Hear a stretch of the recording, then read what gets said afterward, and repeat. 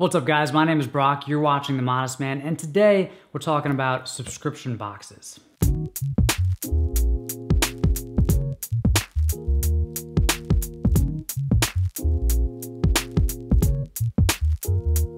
Now, a few years ago, the subscription box model didn't even exist. These days, though, there's a subscription for pretty much everything, even stuff that doesn't make sense. Like, honestly, if you told me there was like a laptop subscription box or like a, a car subscription, I wouldn't be surprised. And I get it, companies like this model, it's predictable, recurring revenue, and actually there's a video over on the Cavalier that kind of explains why this business model is so attractive, so I recommend checking that out. This video is just my honest opinion about subscription boxes, specifically for menswear and accessories and fashion.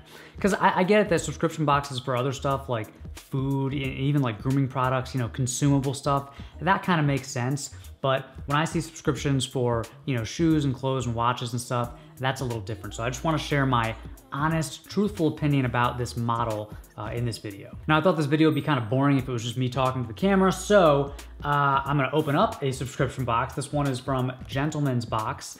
Um, and this is not sponsored or anything. I just, I met these guys at a conference. They sent me one of their boxes and it's been sitting in my studio for a couple of months. So I figured since we're talking about it, why not open one up?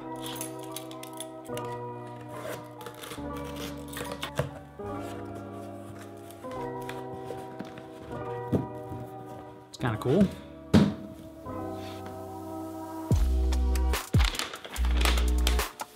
So, here is my bottom line opinion about subscription boxes for men. I don't really like them. And what I mean by that is it's not how I choose to spend my money. The thing is, I'm really picky about what I wear and what I buy and what I own, the things I keep in my home, my office, and subscription boxes uh, don't lead to intentional buying, and I like to buy things with intention. All right, so this is like a uh, little wooden bottle opener. It's kind of cool. See what we got here, original grain. Used to have one of their watches actually. A bracelet. So I guess it's like a wooden theme in this box. MSRP $49, which seems a little high to me. See, in my opinion, subscription boxes lead to excess. It leads to owning things that you don't need and that you might not even want. And, you know, I'm no minimalist, but I do try to keep the things I own uh, to a minimum and that I don't like to own things that just gather dust, you know? I like to use everything that I own.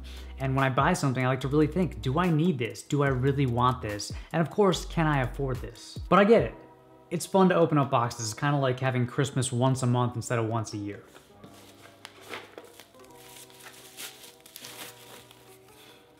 Wooden.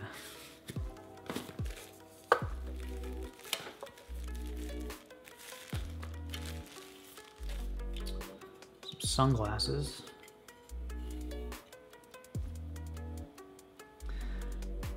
It's a little, a little, too big for my face.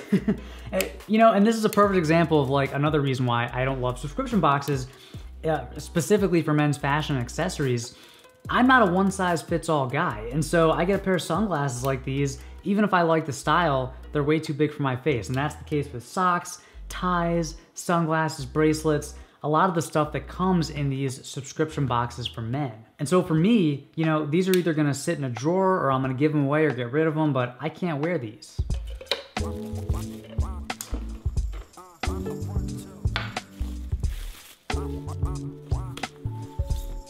And that's my problem with subscription boxes is they lead to me owning stuff that I don't really want. I would rather have a wardrobe and uh, an accessories collection full of stuff that I've really thought about and purchased in a thoughtful, intentional way.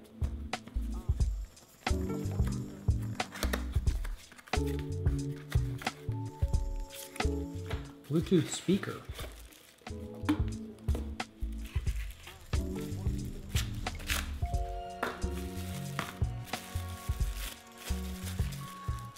Guess this is wooden. Yep.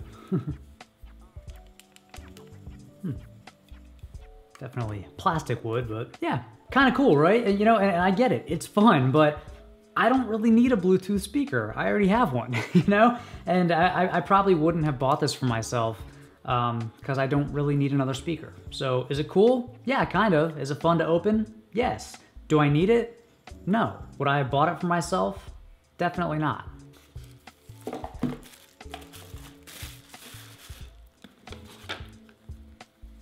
A little magazine that tells you a little bit about the stuff that you got.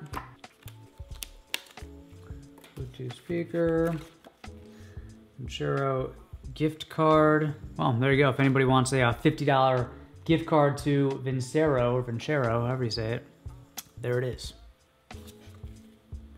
There's another one. I'll put this stuff down in the description, so don't worry about pausing the video or anything. Got a couple more things in here. Now listen, I get the subscription model for certain things, like especially stuff that goes bad. Like, for example, would I subscribe to a toilet paper subscription? Yes. Toothpaste? Probably. Socks? Maybe. Shoes? Watches? No, I would not. you know, if I'm gonna own a pair of shoes, I want it to last for years, you know, and I don't wanna own a million pairs of shoes. So to me, a monthly shoe delivery subscription, that doesn't make any sense. In fact, the longer something lasts, the less sense the subscription model makes, in my opinion.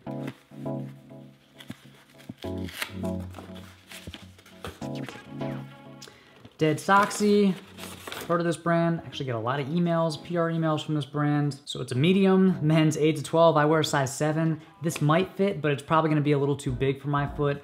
Um, and these are no-show socks. It'll probably slip off my foot while I walk. Again, this is the problem with subscription boxes.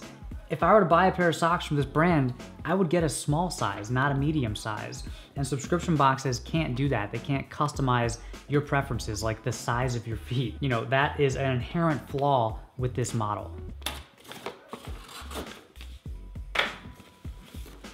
All right, we got one more thing, kind of a big box. Let's see, Tech Dopp Kit.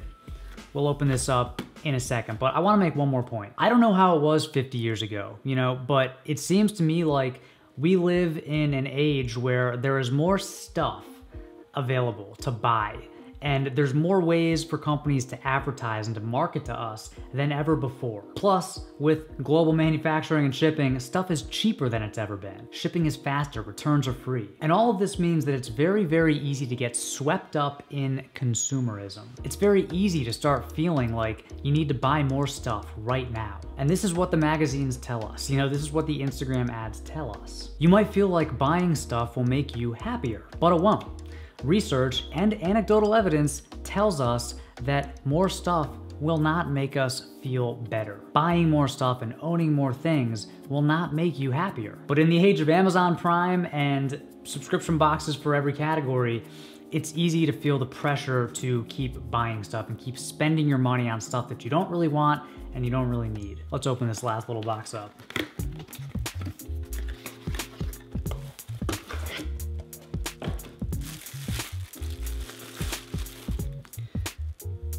Brouk & Co. Tech Dopp Kit. Almost thought that was my name for a second. so this is a Dopp Kit. Actually pretty nice shape. Feels like probably bonded, bonded leather or genuine leather. And you know, again, yeah, it's it's a nice Dopp kit, but I already have a Dopp kit, you know? I, I already have a Dopp kit that I love and that I use all the time. And to be honest, I don't need more than one Dopp kit. So, you know, this is not something that I would buy for myself, even though it was kind of fun to unbox and open up. I think these days to be uh, not a consumer, you know, to be anti-consumer is an uphill battle, but I think it's a worthwhile goal. And I think to do that, anytime before you buy something, whether it's a, a pair of shoes or a car or a watch or a subscription box or anything else, ask yourself three things. One, do I need it? Two, do I really, really want it? And three, can I afford it? And in my opinion, 99% of subscription boxes won't hold up to those three questions. And for that reason, I'm personally not a fan of them, especially when it comes to men's fashion. Again, remember, this is just my opinion. You should spend your money in a way uh, that makes you happy in a way that you want to spend your money. You know, for me, this stuff is not gonna make my life better. It's not gonna make me happier. But I'd love to hear from you. What do you think about subscription boxes? Are you a fan? Are you a customer of any? Uh, let me know down in the comments. I'd really love to hear your opinion. Thank you as always for watching. If you have any questions for me, let me know down in the comments. And until next time, stay stylish. Hey,